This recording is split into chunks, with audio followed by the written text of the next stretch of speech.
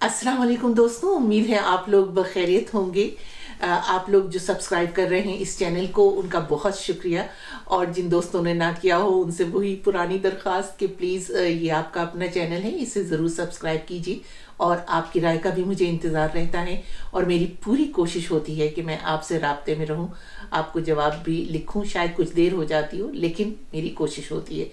और मैं आ, आज मैंने बिल्कुल एक नौजवान स्टाइलिस्ट को अपने यहाँ स्टूडियो में बुलाया है। अब तो ये जो आप इतने खूबसूरत अदाकार और अदाकाराएँ देखते हैं उनके पीछे कौन है? तो वो स्टाइलिस्ट होते हैं और ये हैं राव अली खान। तो राव सबसे पहले तो हमें ये बताइए कि ये थोड़ा सा नया प्रोफेशन है लोगों को शायद दोस्तों को नहीं पता होगा कि है क्या करते क्या हैं आप? तो बेसिकली मैं वार्डरोब स्टाइलिंग करता हूँ। उनके कपड़ों की स्टाइलिंग के वो क्या कपड़े पहनेंगे अपने कम टीवी कमर्शियल में या अपनी फ़िल्म अच्छा। में या अगर वो किसी रेड कार्पेट इवेंट पे या किसी ओकेजन पे जा रहे हैं तो किस तरह ड्रेसअप होंगे हम्म। और उनका वो आउटफिट क्या होगा उनका हेयर एंड मेकअप किस तरह का होना चाहिए अच्छा। और क्या उनकी लुक होनी चाहिए तो ये कैसे पता चलता है राव कि अब ये ये मौका है रेड कार्पेट है ये फ़िल्म है और ये अदाकारा हैं तो कैसे मतलब किस तरह से आप उसको कैसे विजुअलाइज करते हो कि ये क्या होना इसमें चाहिए मैं एक फ़ैशन मैगजीन का एडिटर भी हूँ ओके मैगजीन का स्टाइल एडिटर हूँ। अच्छा। और हम काफ़ी फ़ैशन ट्रेंड्स फॉलो करते हैं बिकॉज़ अच्छा। हम अपनी मैगजीन को भी अब आपको बेस्ट ट्रेंड्स लेके शेयर करने होते हैं। अच्छा। तो उसको वजह से वी वेरी अपडेटेड दूसरा इस फ़ील्ड में आ गए तो हमें ये देखना होता है कि बाहर की हीरोइनें क्या पहन रही हैं और क्या ट्रेंड्स और क्या फ़ैशन चल रहे हैं। फिर ऑल्सो जब हम इनके साथ काम करते हैं तो हमें पता चल जाता है कि क्या चीज़ें ये पुल ऑफ़ कर सकते हैं। इनके बॉडी टाइप्स किस तरह के हैं और ये चीज़ें इन पे अच्छी लगेंगी। फिर वो उसके साथ और फिर फ़ैशन जो है कोई कलर फ़ैशन में है कोई ट्रेंड्स जो हैं उनकी वो पिक करके फिर अच्छा। उस हिसाब से उनका लुक हम डिज़ाइन करते हैं। गोया ये लोग जो इतने खूबसूरत नज़र आ रहे होते हैं स्टाइलिश नज़र आ रहे होते हैं उसके पीछे सारी आपकी मेहनत। है। बिल्कुल बिकॉज़ मुझे लगता है कि जो जितने भी एक्टर्स हैं इनको अपनी एक्टिंग में और अपने हाँ। काम में बिज़ी होते हैं ये Right. और इनका इतना बिज़ी लाइन ऑफ़ वर्क है इतने सारी चीज़ें अटेंड करनी है वहाँ शूट करनी है यहाँ जाना है तो उसके लिए हम सारी चीज़ें बैक एंड जो टीम है ये हम लोग मॉनिटर कर रहे होते हैं कि ओके आयशा उमर ने पिछले इवेंट पे क्या पहना था या आगे अब क्या पहनना चाहिए अच्छा। ये उस पे सूट करेगा उसकी हाइट पे तो इस तरह हम प्लान करते रहते हैं और हम साथ उनके मिलके कोलैबोरेट करते हैं और उनका हम्म। एक लुक डिज़ाइन कर रहे होते हैं तो ये बड़ी अजीब सी बात नहीं लगती होगी राव कि ये जिनको आप तैयार करके भेजते हो हाँ। वो तो इतने मशहूर हो जाते हैं हाँ। और जो पीछे उनको ये सब कुछ करने वाले हैं हाँ। उनको लोग इतना नहीं, नहीं जानते हाँ। ना। ये अभी एक बहुत नई फ़ील्ड है और। जब मैं तीन चार साल पहले इस फ़ील्ड में आया था तो लोगों को समझ भी नहीं आता था कि हम आपको पे किस लिए कर रहे हैं मतलब हाँ। आप एग्जैक्टली exactly क्या कर रहे हैं अच्छा। और हम यही कहते थे कि हम आपको एक कंसल्टिंग सर्विस प्रोवाइड कर रहे हैं जिसमें हम आपको बता रहे हैं कि आपको किस तरह हम्म। अपने आप को प्रेजेंट करना है बिकॉज़ अब सिर्फ़ एक्टिंग और फ़िल्म और या उनके ड्रामों के बेस पे एक स्टारडम नहीं होती बट स्टारडम अब फ़ैशन और उनका लुक्स बिकॉज़ अब इतने सारे लोग देख रहे हैं उनको सोशल मीडिया की वजह से भी हम्म। वो क्या पहने हुए हैं और उनको भी वैसे ही कपड़े पहनने हैं hmm. तो उनको इतना इंस्पायरिंग होना चाहिए कि जब वो बाहर निकलें तो लगे कि किसी एक्टर या एक्ट्रेस hmm. आए हैं उधर और लोग इंस्पायर हों उनसे वैसे कपड़े पहने और इसीलिए मैं अपने लुक्स में हमेशा ऐसी चीज़ रखता हूँ जो कि यूजुअली क्लासिक होती है अच्छा। कि टाइमलेस हो।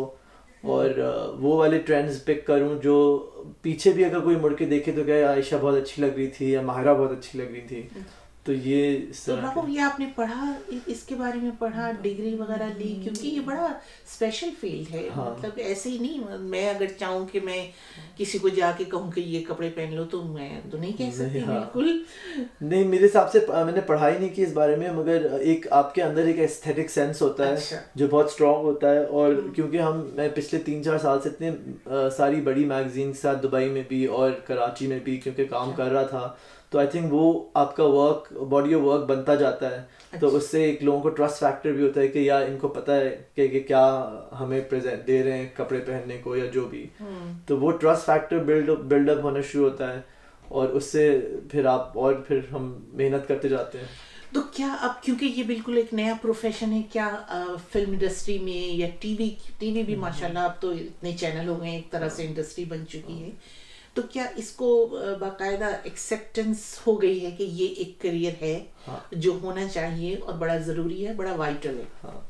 नहीं ये बिल्कुल अब मुझे लगता है कि अब एक ऐसा टाइम आया है स्पेशली लास्ट ईयर से कि एक अच्छा। एक रिकग्निशन मिल रही है हम लोगों को अच्छा। और अभी भी टीवी में तो मुझे फिर भी लगता है कि हमारे ड्रामे इतने simple story house hold stories होती हैं हम्म। कि उसमें इतनी स्टाइलिंग की ज़रूरत नहीं होती हम्म। मगर बिकॉज़ इतने लोग उन एक्टर्स को देख रहे हैं कि और अब बिकॉज़ ऑफ़ सोशल मीडिया उनके वो आउटसाइड द ड्रामा वो कैसे लगते हैं और वो हाँ, कौन है तो उनको वो इमेज प्रेजेंट करना उनका बहुत अब ज़रूरी हो गया स्पेशली इतने कॉरपोरेट्स आ गए हैं हमारी इंडस्ट्री में हम्म। जितनी भी कॉरपोरेट कंपनीज़ है वो इन्वेस्ट कर रही हैं फ़िल्मों में।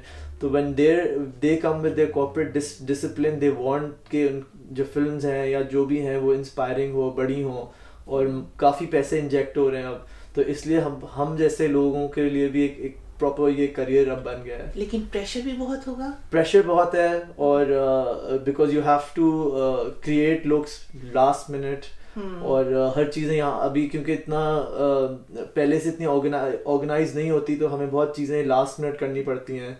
और also pressure on the looking good मतलब वो गलत ना हो कुछ गड़बड़ ना हो जाए तो इसलिए वो आप पे इतना रिलाय कर रहे होते हैं हम्म। कि भाई हम जा रहे हैं इतने बड़े इवेंट पे और हम अच्छा लगना ज़रूरी है और हम कहीं गलत कोई फ़ैशन डिजास्टर ना हो जाए हम्म। तो इसलिए प्रेशर होता है इसलिए मैंने एक कंपनी बनाई है एक स्टाइल कंपनी इसका नाम है इमरजेंसी रूम अच्छा। और अच्छा। उसमें हमारी एक अच्छी टीम है जो कॉन्स्टेंटली अच्छा। uh, काम कर रही है हम लोग देख रहे होते हैं क्या डिज़ाइनर्स हैं जो दुबई में हैं लेबनान में हैं इंडिया में हैं पाकिस्तान में हैं को क्या कलेक्शंस लेके आ रहे हैं और हम किस तरह उन उनको यूज़ करके एक अच्छे नए लुक्स क्यूरेट तो पाकिस्तान में क्या ट्रेंड है आजकल?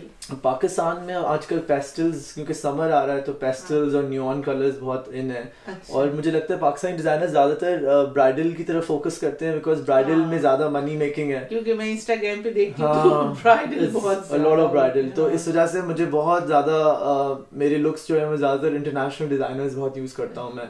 इसीलिए कि वो इंटरनेशनल डिजाइनर्स डिफरेंट कलेक्शंस निकाल रहे होते हैं जिस तरह ब्राइडल नहीं होती।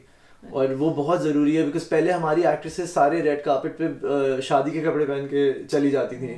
तो अब वो चेंज हो रहा है वो ट्रेंड अब उनको हम गाउन्स पहना रहे हैं। हम्म। और डिफरेंट डिफरेंट उनके वेस्टर्न और फ्यूजन लुक्स ईस्टर्न मिला के थोड़ा फ्यूजन लुक दे रहे हैं। थोड़ा सा कुछ ओवर नहीं तो मैं अपनी स्टाइलिंग में तो कोशिश करता हूँ ओवर ना हो और क्लासिक हो अगर जोड़ा आपका बहुत स्ट्रांग है तो मैं ज्वेलरी नहीं दूँगा उनको।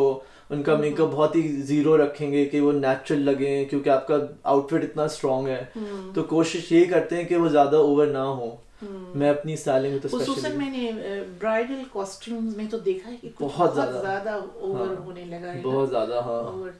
तो कोई ऐसी बताओ राव आपके आपने किसी फ़िल्म के लिए किया है ये और वो उसके वो जो कैरेक्टर है आपने उसके फ़िल्म के हाँ, उसके अभी एक फ़िल्म आ रही है। अभी एक फ़िल्म आ रही है सुपरस्टार उसमें बिलाल अशरफ है और माहिरा है। अच्छा। तो मैंने बिलाल को उसमें स्टाइल किया है और अच्छा। फ़िल्म का पोस्टर जो है उसमें माहिरा और बिलाल दोनों को स्टाइल किया है। अच्छा। तो वो फ़िल्म का पोस्टर अच्छा वो खातन की तो स्टाइलिंग फिर भी लोगों हाँ, को समझ में आती होगी लेकिन ये मर्दों को कैसे करते हैं? मर्दों का बस यही होता है कि भाई जो उसका कैरेक्टर है उसमें एक सुपरस्टार का कैरेक्टर है उसका। अच्छा। तो वो लुक देना कि वो एक्सपेंसिव लगे और वो एक सुपरस्टार लगे। अच्छा। तो वो फील देना पूरी फ़िल्म में अच्छा। वो एक कांस्टेंट एफर्ट होता है और फिर साथ में कभी कभी आप अगर कोई गाना है कोई सिचुएशन है तो इस हिसाब से आप उनको हम ड्रेस कर रहे होते हैं हाँ तो सबसे जो अहम सवाल है हाँ. ये बताएँ कि ये जो जितना आपका काम अहम है उसके हिसाब से आप लोगों को रिटर्न और वायबिलिटी भी है इस प्रोफेशन में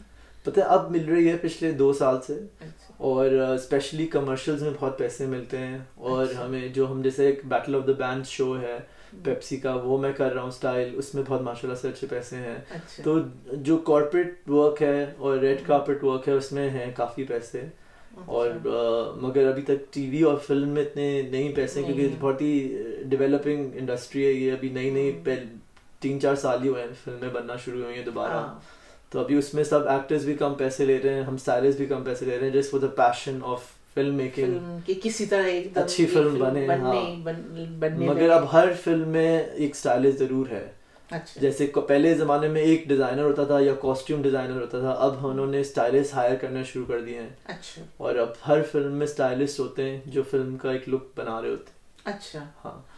तो मतलब इसको अब as a career as a profession उसको एक्सेप्ट किया जाने बिल्कुल लगा। बिल्कुल बिल्कुल। और अब ज़्यादातर एक्टर्स मूव नहीं होते कोई आ, फ़िल्म शुरू नहीं करते या कोई इसी इवेंट पे जाते नहीं जब तक वो अपने कॉन्ट्रैक्ट पे नहीं लिखवाते कि हमें एक स्टाइलिस्ट चाहिए अच्छा। चाहिए हाँ। तो ये एक अच्छी चीज़ है हाँ। वालदेन खुश है इस प्रोफेशन में? अच्छा शुरू में उनको समझ नहीं आता था कि क्या कर रहा हूँ मैं और ये क्यों कर रहा हूँ। मगर अब वो समझ रहे हैं और क्योंकि वो देख रहे हैं कि इसमें काफ़ी वो है रिकग्निशन भी है और इन एक इम्पोर्टेंस है बिकॉज़ uh, कोई एक्टर कहता है कि हमें काम नहीं करना जब तक हमारे लिए स्टाइलिस्ट नहीं होगा। स्टाइलिश नहीं होगा तो वो एक रिकग्निशन भी आ रही है साथ में। और फिर ये कि वो जो एक्टर या वो एक्ट्रेस हैं उसके साथ एक रेपो हम्म। और हाँ। ये कि एक जो वो आपका होता है ना कि आप हर एक के साथ काम नहीं कर सकते। ना हाँ। वो लोग हर एक के साथ हाँ, काम करना चाहेंगे। हाँ।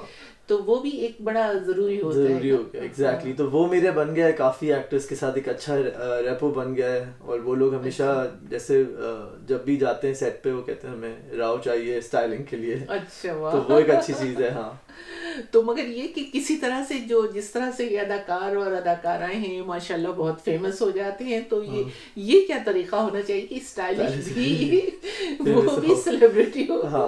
वो तो हम लोग अपनी मुझे लगता है हम अपनी इंडस्ट्री में बहुत फ़ेमस हैं। अच्छा। अ, जैसे जितने भी इंडस्ट्री के लोग हैं वो हम लोग को बहुत वैल्यू करते हैं। अच्छा। और अभी I think with general public को आहिस्ता आहिस्ता उनको भी अब समझ आने लगेगा। देर इज़ अ हाँ। बैक फोर्स यू नो जो पीछे काम कर रही है। हाँ। तो दोस्तों आपने देखा कि ये जो आप लोग बहुत खूबसूरत लोगों को जो देखते हैं स्क्रीन पर, छोटी स्क्रीन पर या बड़ी स्क्रीन पर या सोशल मीडिया पर इंस्टाग्राम पर तो उसके पीछे ये होते हैं स्टाइलिश राव अली खान। इनका काम बहुत ही अहम है और ये अपनी जगह एक सेलिब्रिटी हैं और अब बड़ी अच्छी बात है और मैं मुझे तो मैं तो बहुत ही अप्रिशिएट कर रही हूँ कि ये बाकायदा से एक करियर बन रहा है। लोग इसको एक्सेप्ट हाँ। कर रहे हैं। और ये आ भी रहे हैं। ये तो यहाँ लंदन की वॉरिक यूनिवर्सिटी से पढ़कर गए हैं और ये इस इस प्रोफेशन में आना जो है वो अपनी जगह एक रिस्क लेने Risk वाली बात हाँ, होती है ना कि हाँ। एक रिस्क लेकर इंसान आता है ये बताइए क्योंकि ये हाँ। बिल्कुल नया प्रोफेशन है और अब इसकी एक्सेप्टेबिलिटी भी आ गई है जैसे हाँ। कि आपने सब कुछ बताया तो अगर नए क्योंकि पाकिस्तान में जरा बड़ी महदूद है ना प्रोफेशन की लाइंस हाँ। बहुत तो आप क्या मशवरा दोगे कि नए नौजवान जो हैं बच्चे और बच्चियाँ हाँ। वो आए इस तरफ़ हाँ बिल्कुल आए और मैंने अपनी कंपनी में बहुत सारे फ़ैशन स्टूडेंट्स जो पढ़ रहे हैं इस वक्त फ़ैशन मैंने उनको हायर किया हुआ है। अच्छा। और वो मेरे साथ शूट पे जाते हैं। अच्छा। हमेशा हर शूट पे तीन चार बच्चे होते हैं साथ में। और वो ऑब्ज़र्व भी कर रहे होते हैं साथ में काम भी कर रहे होते हैं और वो सीखते जा रहे होते हैं। तो इसी तरह मुझे लगता है कि एक बहुत अच्छा प्लेटफॉर्म है कि नए स्टूडेंट्स को आने का। बिकॉज़ पहले आप नोट करते होंगे हर बंदा जो फ़ैशन में था वो समझता था बस हमें डिज़ाइनर बनना है। हाँ। और फिर कुछ ही डिज़ाइनर्स हैं जो एक्चुअली बहुत अच्छे होते हैं और वो अपना नाम बना लेते हैं और बाकी फिजल आउट हो जाते थे हम्म। मगर ये एक ऐसा प्रोफेशन है इसमें आप ज़रूरी नहीं है कि आप डिज़ाइनर ही आपको बनना चाहिए। आप एज ए स्टाइलिस्ट भी आप आपके अंदर एक एस्थेटिक सेंस है जो बिल्डअप हो रहा है तो आप उस उसको भी लेके आगे चल सकते हैं और एक प्रोफेशन बना सकते हैं। और इसी तरह जो मेरी कंपनी है वो यही कर रही है कि हम लोग बहुत सारे फ़ैशन स्टूडेंट्स हायर करते हैं। अच्छा। हमारे साथ शूट्स पे जाते हैं। अभी मैं लंदन में हूँ मगर पीछे दो शूट्स हो रही हैं जो मेरी पार्टनर और फ़ैशन जो हमने हायर किए हुए स्टूडेंट्स वो उनको उन शूट्स को देख रहे होते हैं। तो वो भी सीखते जा रहे हैं। आगे के दिन मुझे लगता है इवेंचुअली उनको भी आगे काम मिलना खुद ही से शुरू हो जाएगा। तो आपने देखा कि ये एक मार्केट बनती चली जा रही है और ये इसको एक नया करियर है जो सामने आ रहा है, जिनको बच्चों को और बच्चियों को इसका शौक हो, फ़ैशन इंडस्ट्री का शौक हो, जैसे कि राव ने अभी बताया। तो वो आए इस तरफ़ ताकि ये बाकायदा से एक अच्छा प्रोफेशन नौजवान नस्ल के लिए आ जाए, जिसकी हमारे मुल्क में बहुत ज़रूरत है। और अपनी राय ज़रूर दीजिएगा दोस्तों कि आपको कैसा लगा, ये इस प्रोफेशन के हिसाब से आप इसके बारे में क्या सोचते हैं? और राव अली खान ने बहुत हिम्मत की है, वो यहाँ डिग्री करके लंदन से और जाके उन्होंने एक तरह से रिस्क लिया, लेकिन माशाल्लाह से अब बता रहे हैं कि बहुत अच्छा अच्छा इसकी एक्सेप्टेंस है। तो हमें राय दीजिएगा ज़रूर और अपना बहुत ख्याल रखें। खुदा